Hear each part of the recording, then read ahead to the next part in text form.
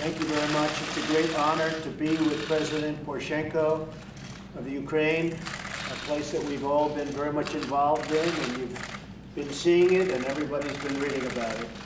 Uh, And we've uh, had some very, very good discussions.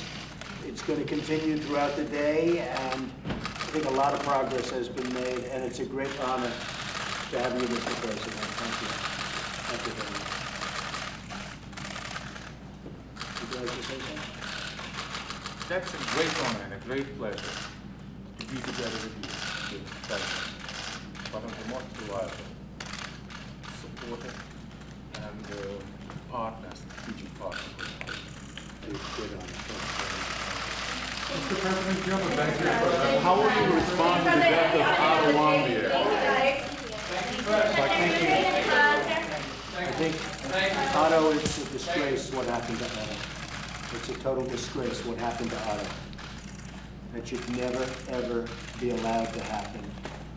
And frankly, if he were brought home sooner, I think the result would have been a lot different. He should have been brought home that same day. The result would have been a lot different. But what happened to Otto is a disgrace. And I spoke with his family. His family is incredible, what they've gone through but he should have been brought home a long time ago.